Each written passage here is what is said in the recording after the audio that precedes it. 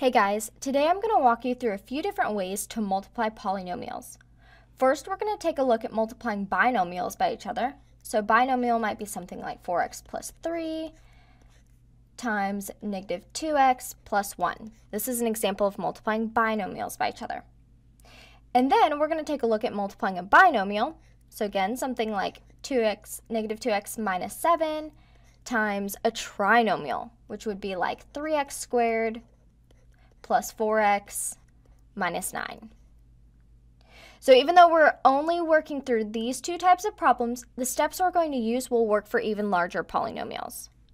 So to multiply polynomials, you need to multiply each part of the first polynomial by each part of the second polynomial. Okay, so you need to multiply each part of the first polynomial by each part of the second part. Which if we draw arrows to show that, it looks like this, which can look a little bit complicated. It can sometimes be tricky to keep track of, so we really want to make sure that we have a system for how to solve these problems so that we don't miss any steps. Okay, so the first way that I'm going to show you is to use a box method. So let's use the box method to multiply 2x plus 5 times negative 4x plus 7. Okay, so the first thing to notice is that we're multiplying two binomials like we talked about earlier. So we're going to want to set up a 2 by 2 box. So that'll look like this. We're going to draw a box and 2 by 2, so we want 4 squares total. Now we're going to write one polynomial on the left and one on the top, like this. I'm going to write 2x plus 5 over here, and negative 4x plus 7 up here, like this. Since we're multiplying, it doesn't matter which binomial goes on the top and which one goes on the left. Either one can go there. So now we're going to multiply our left term by our top term for each box. So I'm going to start here with negative 2x times, or sorry, 2x times negative 4x, which will give us negative 8x squared. Then we're going to move on to our next box where we multiply our left term by our top term. So 2x times 7 is 14x. Down here we have 5 times negative 4x is negative 20x. And then we'll have 5 times 7, which is 35. Okay, so now all our boxes are filled out, and we can simply add our terms together. So we have negative 8x squared plus negative 20x, or just minus 20x, plus 14x, plus 35.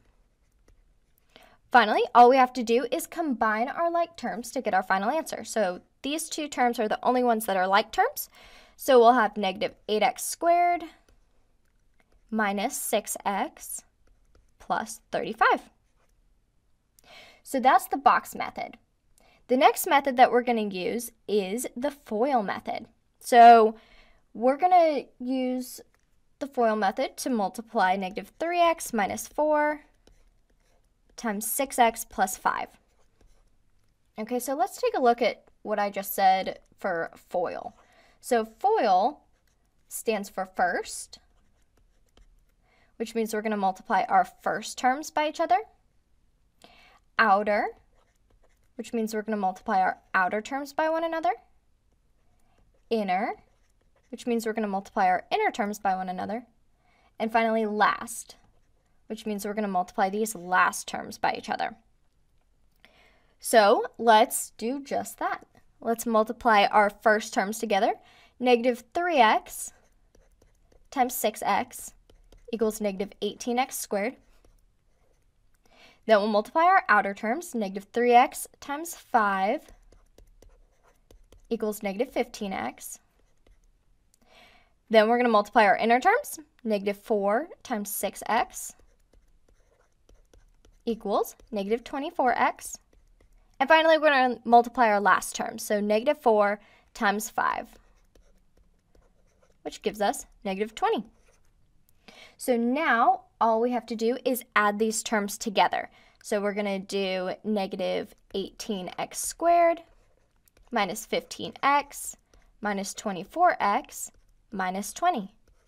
And the last thing we need to do is again combine our like terms. So these two are like terms.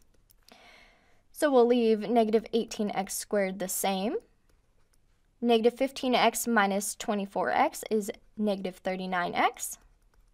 And then minus 20. So that's our final answer. Now that we've taken a look at how to multiply binomials by one another, now we're going to look at an example of multiplying a binomial by a trinomial using the box method again. So let's multiply 2x minus 3 by 6x squared plus 4x plus 9. So since we're working with a binomial and a trinomial, we're going to need to set up a 3 by 2 box like this. So this one's going to be a little bit longer than our last one. We're still going to put 2 on this side, and then we'll put 3 on the top like this. So since we have our binomial multiplied by a trinomial, and we have a 2 and 3 side box, we're going to need to put the binomial over here. So 2x minus 3, and up here we're going to put 6x squared plus 4x plus 9, just like this. And now we're going to multiply each box just like we did last time. So I'm going to multiply 2x times 6x squared, which is 12x cubed. Then we're going to go to negative 3 times 6x squared, which equals negative 18x squared. Then I'm going to do 2x times 4x, which is 8x squared. Negative 3 times 4x is negative 12x. 2x times 9 is 18x and negative 3 times 9 is negative 27. So now we're going to add all of our terms together. We'll have 12x cubed plus uh, negative 18x squared, which if we want to, we can just put minus 18x squared, it'll be the same thing, plus 8x squared minus 12x plus 18x minus 27. And finally, combine our like terms. So for this problem, we have like terms right here and right here. So we'll keep the 12x cubed the same. Negative 18x squared plus 8x squared is negative 10x squared. Negative 12x plus 18x is positive 6x and then minus 27. So there's our answer. Now, using the box method is just a tool for multiplying polynomials in a systematic way. Remember at the beginning of this video, I said that you need to multiply each part of the first polynomial by each part of the second polynomial, which is what we did with our boxes. Now let's work through an example where we do the same thing, but without the box method. So we're going to multiply 6x minus 4 by negative 4x squared plus 8x minus 1. Remember, you have to multiply each part of the first binomial by each part of the second binomial. Or sorry, excuse me, trinomial. So each part of the first binomial by each part of the second trinomial. So technically, we can do this in any order, but to make sure that we do that, I'm going to show you a process that will help you not miss multiplying by terms. So I'm going to start by multiplying the first part of my first polynomial by each part of my second polynomial. So just like I drew arrows right here. So I'm going to multiply 6x by negative 4x squared. That'll give me negative 24x cubed. Then I'm going to multiply 6x by 8x, which gives me 48x squared. Then I'm going to multiply 6x by negative 1, which is minus 6x. So from here, we're going to multiply the second part of our binomial by each part of our trinomial, like this. So same process, just with the second number. So I'm going to multiply negative 4 by negative 4x squared, which is plus 16x squared. Then I'm going to do negative 4 times 8x, which is negative 32x.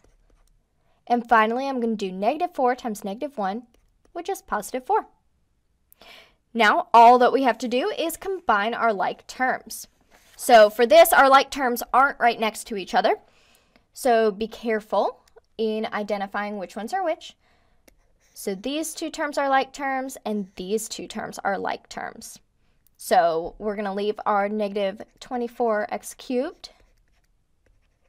When we combine our x squared terms, we'll get plus 64x squared. When we combine our x terms, we'll get negative 38x. And our plus 4 stays the same. So that's all there is to it. You can even use these steps to multiply two trinomials together or even polynomials with four or five terms together. Just remember you need to have a system for multiplying your terms together because the larger your polynomials get, the easier it will be to accidentally miss multiplying some terms. I hope that this video on multiplying polynomials was helpful. Thanks for watching and happy studying.